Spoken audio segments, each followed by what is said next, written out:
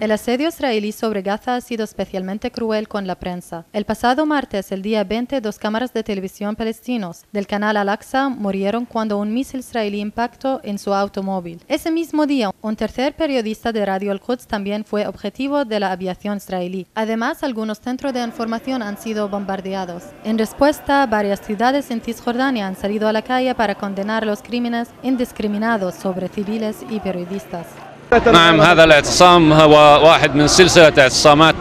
Hoy muchas ciudades de Cisjordania nos estamos manifestando en solidaridad con nuestros compañeros de Gaza, que han sido objetivo de los ataques del ejército israelí. Además, otros 13 informadores resultaron heridos. El sindicato de periodistas presente durante la manifestación quiere poner fin a esta política israelí y pide una investigación internacional sobre lo ocurrido. El sindicato de periodistas denunciaremos lo que los israelíes están haciendo contra los periodistas de Gaza en esta operación militar, en la que disparan contra la prensa. Pero esta no es la primera vez que las fuerzas israelíes dirigen sus ataques contra la prensa palestina. Nuro, de portavoz de comunicación del presidente Mahmoud Abbas, nos recuerda la cantidad de víctimas durante la última década.